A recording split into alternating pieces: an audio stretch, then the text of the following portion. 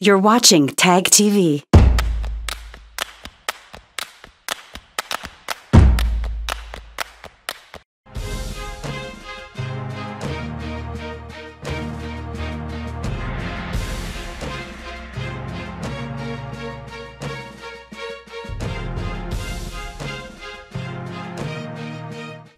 Good evening. Welcome to South Asia Newsline. I'm Yesh Chanzom.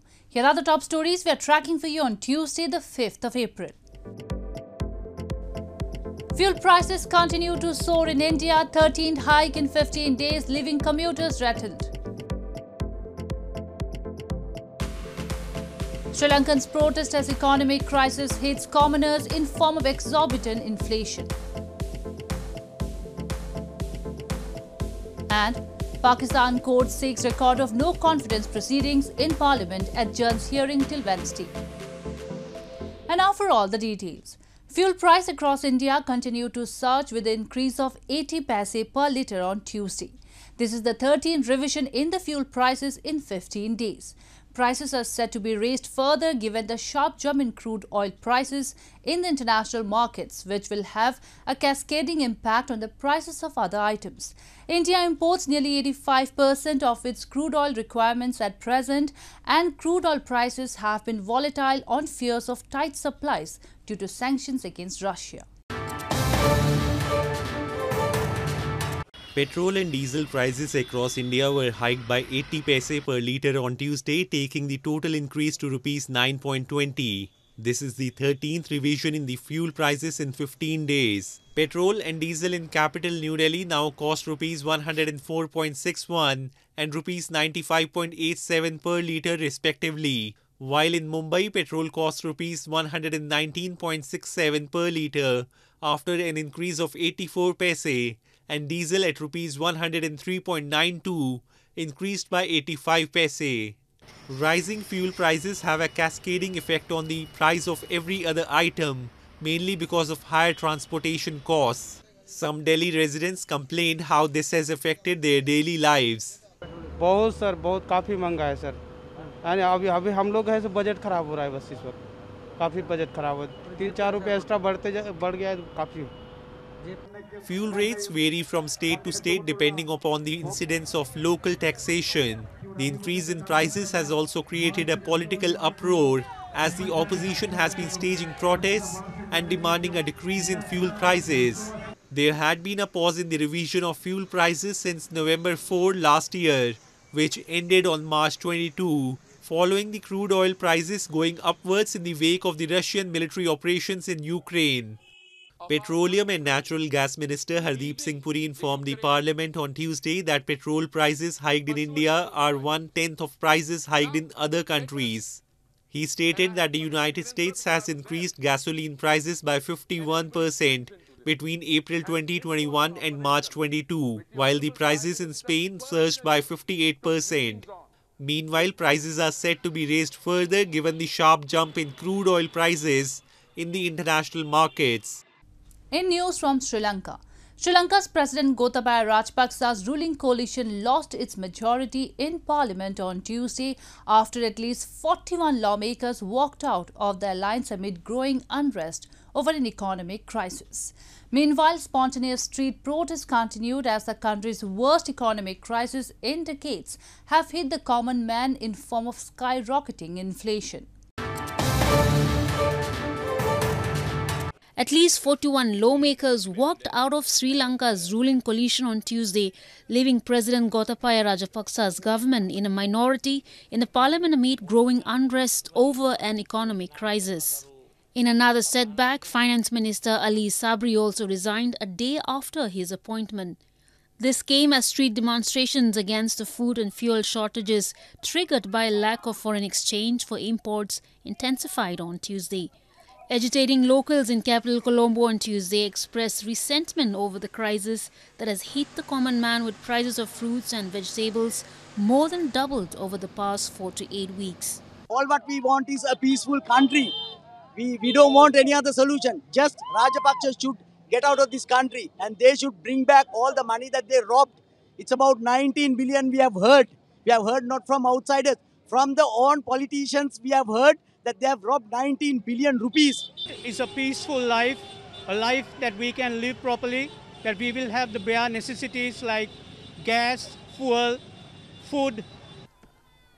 Rajapaksa had earlier on Monday dissolved his cabinet and sought to form a unity government, but the opposition parties rejected the offer.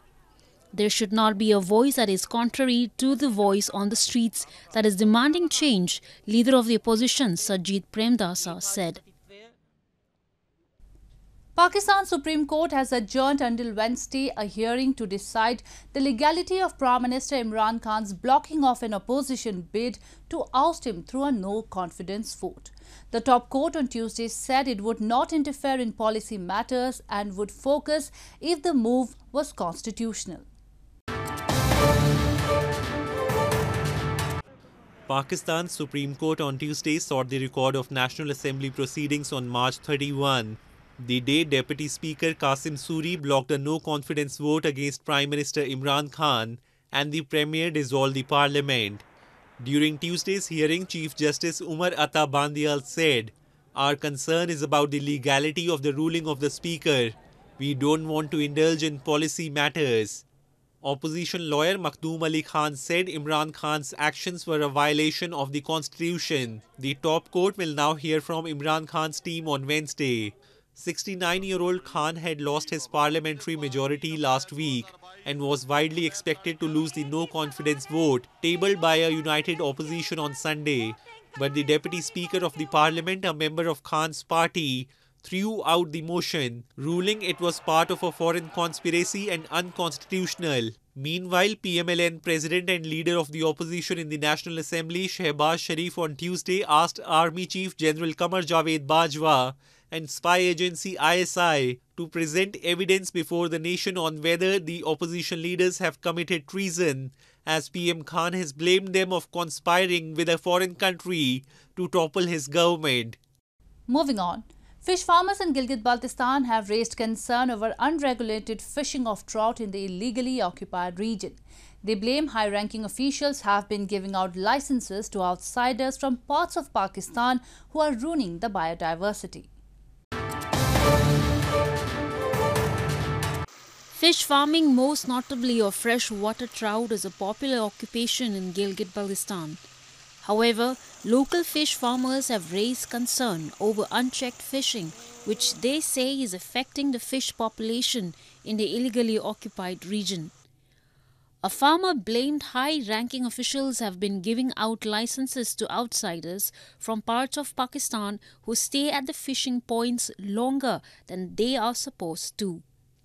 He urged authorities should also deploy security personnel to discourage illegal angling of trout fish. ये high level पे officials को अतमाद में लेके कोई ऐसी हालत पैदा नहीं करेंगे जिसमें कम्युनिटी जो है ना, परेशान हो और ट्रोट मछली की नस्ल कशी हो। तो मेरा मतलब ये है कि सिफारिशी लोग वहाँ पे आते हैं तो लाइसेंस एक दिन का होता है तो वो हफ़्ते तक बैठते हैं और वहाँ पे जंगल का भी बहुत ज़या करते हैं, वहाँ पर आग लगाते हैं, फिर अपने लिए इस्तेमाल भी करते हैं। तो इस वजह से काफ़ी मुश्किल आते हैं। Local fish farm owners have also lamented that the industry has been hit hard by the coronavirus pandemic and the government has failed to provide any relief measures so far.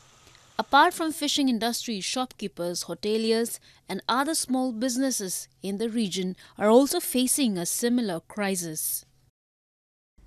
Bamiyan is best known outside Afghanistan for imposing Buddhist sites which dominate the little market town. 21 years after, the Taliban blew up the two giant statues that once looked down over the high plains. With reports suggesting that Taliban will preserve the empty niches of the two giant Buddhas to promote tourism following takeover, Afghans want to see the statues restored.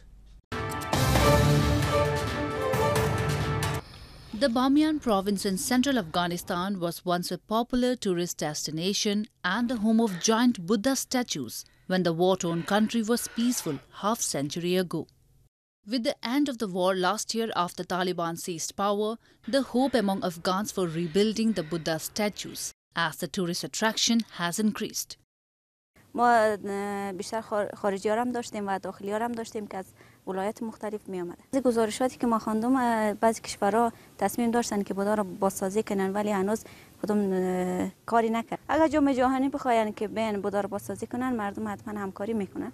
چون مردم خوش هستند تا های فرهنگی با میان سریپا باشن و مردم خوشحال میشن تا جامعه جهانی بیان بودا را بازسازی بکنن The 53 meter and 35 meter tall Buddha statues with thousands of caves for monks around them were more than 1500 years old and reminders of the Buddhist civilization in the region. The statues were destroyed by the Taliban in March 2001.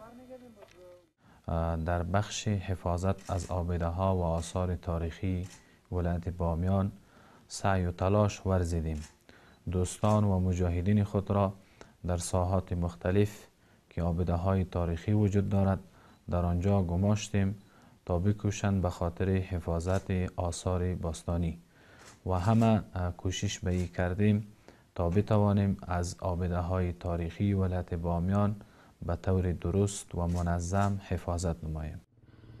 In 2003, UNESCO included the remains of the Bamiyan Buddhas in the list of World Heritage Sites.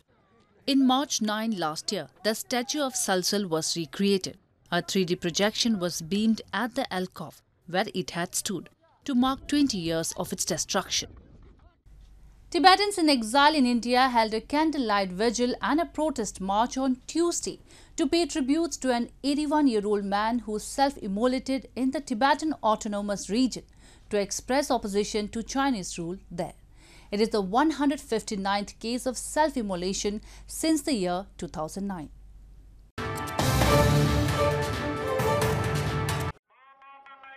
Exiled Tibetans in India's northern hill town of Dharamshala held a candlelight vigil and a protest march on Tuesday as a tribute to an elderly man who self-immolated in Tibetan Autonomous Region against Chinese rule there.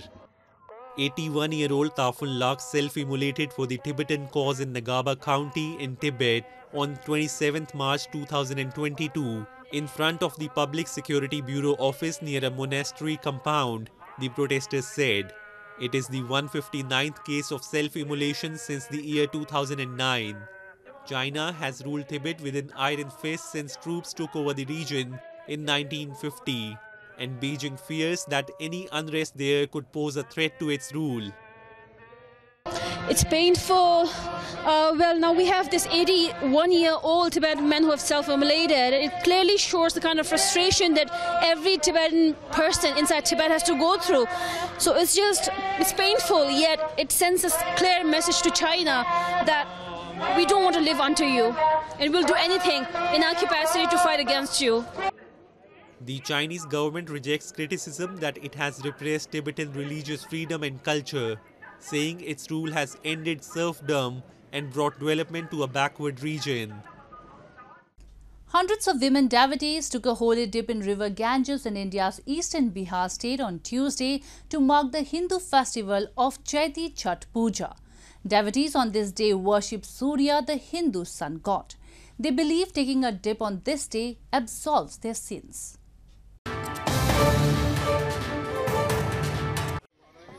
Scores of women devotees took a holy dip and offered prayers on the banks of river Ganges in India's northern Bihar state on the first day of Cheti Chhath Puja on Tuesday. The holy dip is performed in order to thank Hindu sun god Surya for sustaining life on earth and to request the granting of certain wishes. Devotees believe taking a bath on this day purifies their sins. They also prepare food offerings made of split chickpeas, bottle gourd, and rice. During the four day festival, women devotees stand inside the water for long periods of time and observe 36 hour long fasting for the well being and prosperity of their family. कर रहे हैं अपना बाल बच्चा के लिए थी लिए सुख संपत्ति रहे बढ़िया से सब मोहल्ला टोला रहे बढ़िया ये सबसे बड़ा महत्व पर्व है ये पर्व को ये पर्व जो है बहुत ज़्यादा नेम टेम से बहुत अच्छा से किया जाता है और उनका कृपा से जो है सब चीज़ पूरा हो जाता है Chhat Puja is mainly observed in Bihar and its adjoining states and in parts of neighboring country of Nepal. The festival will conclude with oblation to the rising sun on April 8. Well, that's all we have for you from South Asia this evening. Now, our viewers can watch the show on SouthAsiaNewsline.com. You can also visit us on Facebook.com slash Newsline and follow us on Twitter at Asia Newsline. That's all in tonight's edition. We will see you same time tomorrow. Good night. Subscribe Tag TV YouTube channel and press the notification button.